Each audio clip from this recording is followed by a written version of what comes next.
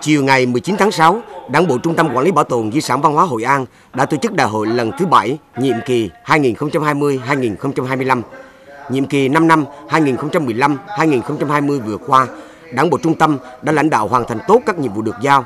Các chỉ tiêu chủ yếu đều đạt và vượt so với nghị quyết. Các hoạt động nghiên cứu, quản lý di sản, bảo tồn, bảo tàng có sự chuyển biến tích cực. Hoạt động tuyên truyền, phát huy giá trị di sản được đẩy mạnh.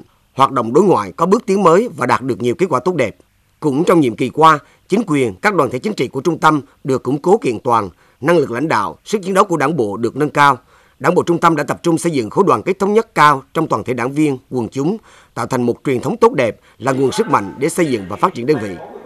Nhiệm kỳ 2020-2025 sắp đến, Đảng bộ trung tâm đã đề ra phương hướng mục tiêu, chỉ tiêu chủ yếu và chương trình hành động cụ thể để thực hiện nghị quyết.